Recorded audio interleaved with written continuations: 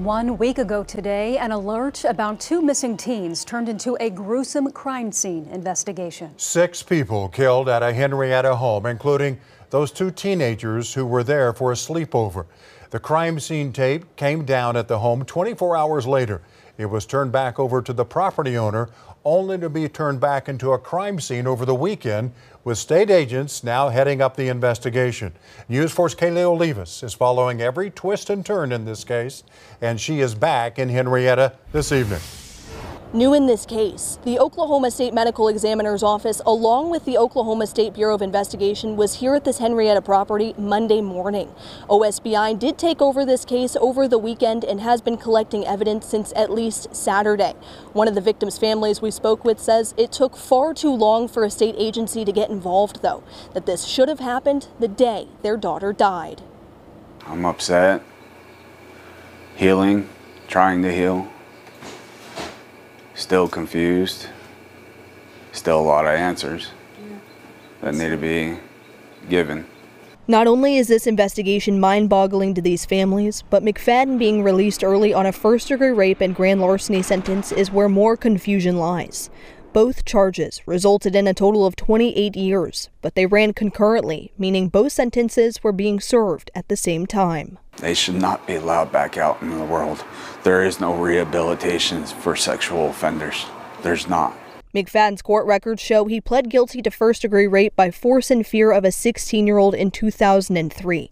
That carries up to life imprisonment, but a Pittsburg County judge only sentenced him to 20 years. He was released early in 2020 after completing 85% of his sentence. Two and a half years later, he killed five kids, his wife of less than a year, and then turned the gun on himself.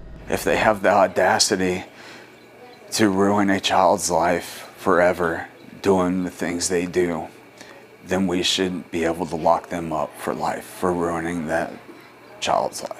So he drafted up this petition demanding change in the current law when it comes to a convicted sex offender sentencing and probationary requirements. He's also demanding more funding for law enforcement so they'll have the resources to put a stop to people like Jesse McFadden.